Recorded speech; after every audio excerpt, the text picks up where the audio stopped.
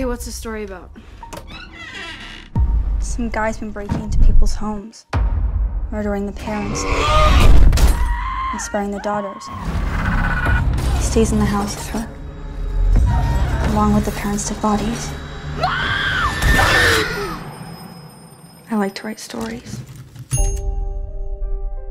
Incident in a Ghostland is your most personal book so far. Your sales are through the roof. They adore you and they love you. I don't know where your talent comes from. What are you doing here? Your capacity to create your own worlds. I guess the question is why write this book?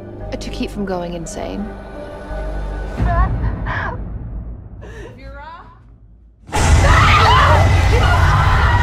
Reliving that night over and over. Are you gonna let me die alone? I never should have stayed in that house. Nobody's here. No one is here. I know what you want from your sister.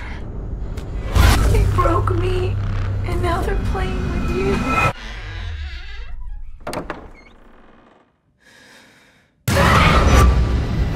Do you understand now, Beth?